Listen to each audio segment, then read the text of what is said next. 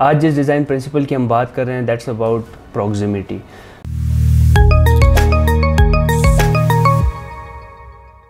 असलकुम तो hi guys welcome back to another video और जिस तरह हमने डिस्कस किया था अबाउट डिज़ाइन प्रिंसिपल्स और आज जिस डिज़ाइन प्रिंसिपल की हम बात कर रहे हैं दैट्स अबाउट प्रॉक्सिमिटी और प्रॉक्सिमिटी uh, का शायद आप लोगों ने नाम सुना हो लेकिन एट द सेम टाइम हमें इसको थोड़ा सा जो है ना डिग डाउन एक्सप्लेन करना पड़ेगा कि प्रॉक्सिमिटी है क्या चीज़।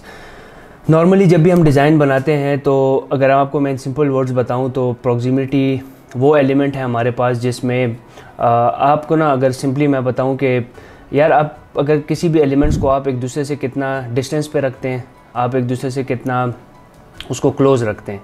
सिंपल इसका जो मतलब है या मकसद है वो यही होता है कि आप आपके डिज़ाइन के अंदर जो डिज़ाइन एलिमेंट्स हैं, आपने उनको किस तरीके से प्लेस करना है? इट्स ऑल अबाउट प्लेसमेंट और that's basically what we call proximity और प्रॉक्सिमिटी के, को जो है ना, हम डिज़ाइन के अंदर दो मेन पर्पजेज़ के लिए यूज़ करते हैं। जो सबसे पहला पर्पज़ है वो ये है कि जितने भी हमारे पास एलिमेंट्स होते हैं डिज़ाइन के अंदर, उनका कनेक्शन ठीक है? एक एक टेक्सचुअल एलिमेंट है, एक विजुअल है, इन दोनों के बीच में क्या कनेक्शन है, इस कनेक्शन को शो करने के लिए हम प्रॉक्सिमिटी को यूज़ करते हैं, ठीक है? इंपॉर्टेंट किस सेंस में? इंपॉर्टेंट इसलिए है कि जब आप अपने डिज़ाइन में जिन एलिमेंट्स को यूज़ कर रहे हो, अगर वो एक दूसरे से रिलेश रिलेट ही नहीं कर पा रहे तो आपका डिज़ाइन का मकसद ही ख़त्म हो जाता है। तो इस पर्पज़ के लिए प्रॉक्सिमिटी को हम यूज़ करते हैं और प्रॉक्सिमिटी हमारे लिए इंपॉर्टेंट रोल अदा करता है in order to make our design more understanding या यू आप कह सकते हैं अंडरस्टैंडेबल या रीडेबल ठीक है? To create connections to repel connections ठीक है? अब मैं आपको एक छोटी सी मिसाल देता हूँ कि लेट सपोज़ आप एक कॉन्टैक्ट नंबर यूज़ कर रहे हैं, ठीक है? एक डिज़ाइन के अंदर आप एक पोस्टर बना रहे हैं, उसके अंदर आपने कॉन्टैक्ट डिटेल्स लिखी हुई हैं, और साथ में आपने जो है ना, एक और आइकन डाला हुआ है जो कि कुछ और रिप्रेजेंट कर रहा है। अगर आप उन दोनों को एक साथ रखेंगे तो that doesn't make any sense इसमें इसको न न सिर्फ़ to make a connection also to repel a connection भी हम यूज़ कर सकते हैं। Apart from that moving closer putting apart ठीक है? अब इसका क्या मतलब है कि वही एलिमेंट्स आपको जिनको आपने करीब करीब रखना है या उनको अच्छा इसमें एक और चीज़ है एलिमेंट्स को जिस तरह मैंने बात की कि मूविंग अपार्ट या क्लोज पुटिंग टुगेदर इसी तरह किसी चीज़ को बड़ा करना या छोटा करना। ठीक है? हम नॉर्मली एज ए डिज़ाइनर हमें एक चीज़ फेस करनी पड़ती है जब हम प्रैक्टिकली इन द मार्केट काम कर रहे होते हैं।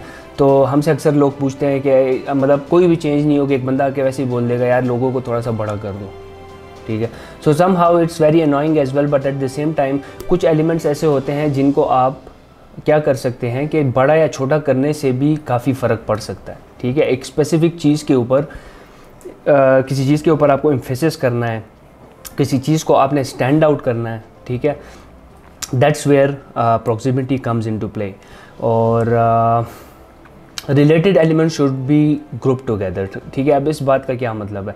यही बात मैं आपको कह रहा हूँ कि जितने भी आपके पास आपके डिज़ाइन के अंदर जो रिलेटेड एलिमेंट्स हैं उनको हमेशा अपने साथ में रखना है ठीक है? और जो अनरिलेटेड चीज़ें हैं उनको आपने डिफ्रेंशिएट करने के लिए थोड़ा सा डिस्टेंस अपार्ट रखना है या यूँ समझ लें सो so, जिस तरह हमने हेरारकी में बात की थी ठीक है? अब हेरारकी को अगर आप उठा लें तो हमने ये बात की थी कि जितने भी हमारे पास एलिमेंट्स हैं आप चाहते हैं कि यार आपका डिज़ाइन आपका डिज़ाइन जो है ना किस तरीके से रीडेबल हो, किस तरह उसको आपकी ऑडियंस परसीव करे तो आपने एक ख़ास ऑर्गेनाइज एक ख़ास स्ट्रक्चर में आपने उसको रखना था। इसी तरह प्रॉक्सिमिटी में भी यही चीज़ है कि आपने जो आपकी अनरिलेटेड चीज़ें हैं, आपने उनको कभी भी साथ में नहीं रखना, ठीक है? और जो आपकी रिलेटेड चीज़ें हैं, उनको आपने पास में रखना है। So that's where proximity comes in to play और अगर आप एग्जांपल्स को देखें तो so in the layout example one अगर आप देखें, ठीक है, एक इमेज है, ठीक है सोलर सिस्टम की एक इमेज है, साथ में हमने एक पैराग्राफ दिया हुआ है which is explaining that image ठीक है? अगर इसके साथ मैं कॉन्टैक्ट नंबर डाल दूँ, ठीक है will will it make sense no it's not gonna make sense so that's why proximity design principle is important to understand कि हम उसको इफ़ेक्टिवली अपने डिज़ाइन के अंदर यूज़ करें। अपार्ट फ्रॉम दैट दूसरे एग्जांपल में अगर आप देखें इसी तरह सेम चीज़ है उसको डिफरेंट uh, तरीक़ों से ऑर्गेनाइज करके आपको दिखाया गया है। फिर से थर्ड एग्जांपल है फिर इस तरह फोर एग्जांपल है ठीक है? Still it's not looking bad it's understandable it's making sense तो आप अपने डिज़ाइन में you can play around lot और अपने अपने डिज़ाइन के जो जितने भी आपके एलिमेंट्स हैं, उनको मुख्तलिफ़ पोजीशंस पे रख के क्लोज़र या अपार्ट या जिस तरह भी आपको, वो कहते हैं ना कि it's all about experiment so whatever suits you the best whatever it's gonna it's gonna convey the message best वही चीज़ आपके लिए इंपॉर्टेंट है और वही आपने अपने डिज़ाइन के अंदर यूज़ करनी है। That's all about somehow about proximity और इसमें इतना कुछ है नहीं। बस यही चीज़ आपने याद रखनी है कि कौन सी जो आपके रिलेटेड एलिमेंट्स हैं, उनको आपने साथ में रखना है, जो कि अनरिलेटेड एलिमेंट्स हैं, उनको आपने एक दूसरे से अपार्ट रखना है टू डिफ्रेंशिएट और इसी तरह जैसे एक और चीज़ मैंने इसमें ऐड की कि बड़ा या छोटा करना किसी एलिमेंट को अपने डिज़ाइन के अंदर, वो भी एक ज़रूरी चीज़ है, ठीक है? अब ऐसा भी नहीं है कि आप जो है ना, कोई सेकेंडरी इन्फॉर्मेशन है आपके डिज़ाइन की, आप उसको बहुत बड़ा करके लिख लो, ठीक है? उससे क्या होगा कि जब भी कोई आपका डिज़ाइन एट फ़र्स्ट ग्लांस देखेगा, उसको जो चीज़ इंपॉर्टेंट चीज़ है, वो नज़र नहीं आएगी। सो इंपॉर्टेंट क्या क्या चीज़ें हो सकती हैं? या तो लेट से आप एक पोस्टर बना रहे हो तो आपका जो मेन मैसेज है, वो हमेशा बड़ा होना चाहिए कि जैसे ही आपकी ऑडियंस उस डिज़ाइन को देखे तो उसके पहली नज़र उस इंपॉर्टेंट मैसेज पे पड़े। फिर उसके बाद आता है कि जी उस लोगों कैसे है?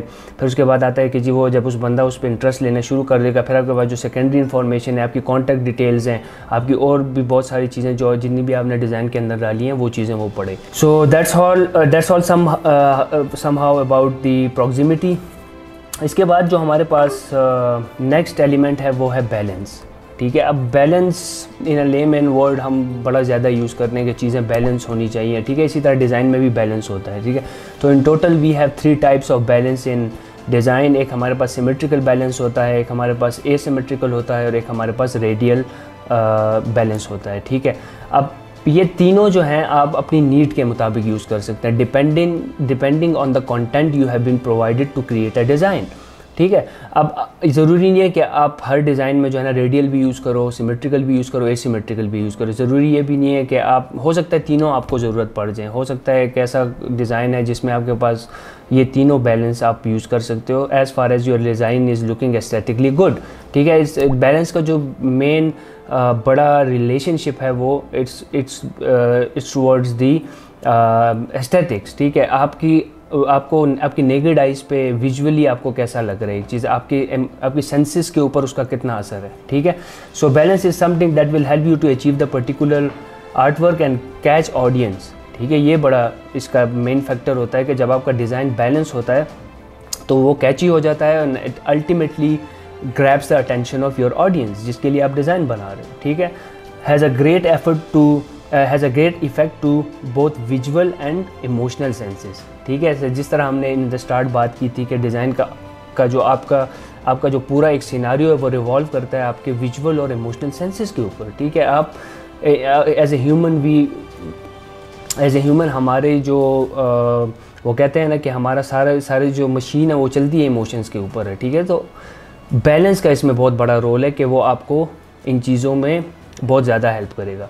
सो so, अगर सिमेट्रिकल बैलेंस की आप देखें देखें अब इस it's called formal balance as well आप देखें एक हमारे पास पिवट बना हुआ है उसके ऊपर जो है ना वो दो बॉक्सेस पड़े हुए हैं। तो इट्स सिमेट्रिकल मतलब अगर एक टाइप अगर एग्जांपल को आप देखें तो एक, एक तरफ़ अगर पाँच के का बॉक्स पड़ा है तो दूसरी तरफ़ भी पाँच है तो ये सिमेट्रिकल है ठीक है? ए सिमेट्रिकल में क्या है कि आप ऊपर नीचे थोड़ा बड़ा, छोटा कर सकते हो, ठीक है? कुछ चीज़ें बहुत छोटी होंगी, कुछ चीज़ें बहुत बड़ी होंगी। As far as it's looking good और आपका मैसेज कन्वे हो रहा है that's that lies in the asymmetrical balance area इसी तरह फिर हमारे पास रेडियल है, ठीक है? रेडियल में क्या होता है? रेडियल जिस तरह नाम से ज़ाहिर है कि आप एक सर्कुलर स्ट्रक्चर में अपने डिज़ाइन को बैलेंस करते हैं, ठीक है? So if you look if you look at the examples ठीक है? अभी देखें, जो पहली एग्ज़ाम्पल है वो सिमेट्रिकल की है। देखें प्रॉपर एक सिमेट्री के अंदर, एक प्रॉपर मेजॉरिटी जो हमारे जितने डिज़ाइंस बनते हैं, जितने मैंने देखे हैं तो पीपल प्रेफर सिमेट्रिकल क्योंकि एज इन पर्सन हम सिंपल चीज़ों को ज़्यादा अच्छी तरीके से परसीव कर सकते हैं। बनस्बत ये कि हमारे पास थोड़ी सी कॉम्प्लेक्सिटीज़ हो, ठीक है?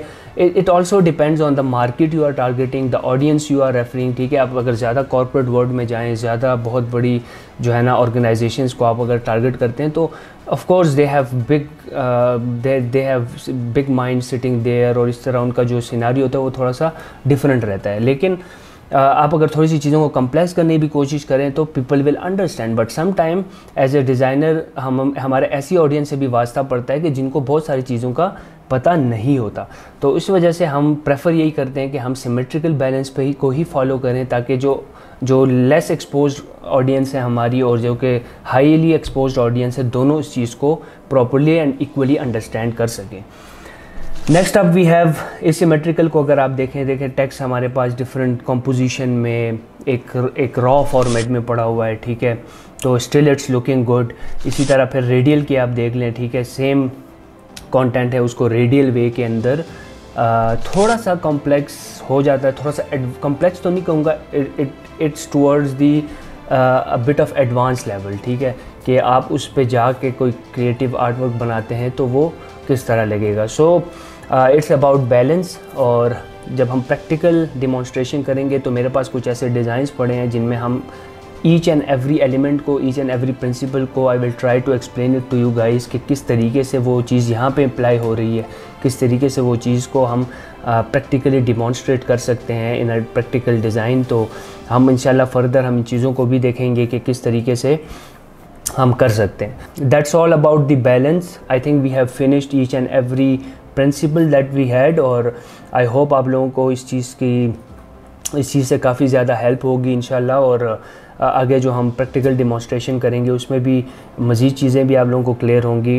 Until now we have discuss the theory the elements और जब इन हम प्रैक्टिकल क्लासेस करेंगे तो उसमें भी हम इन चीज़ों को मज़ीद डीपली और थॉरली एक्सप्लेन करेंगे।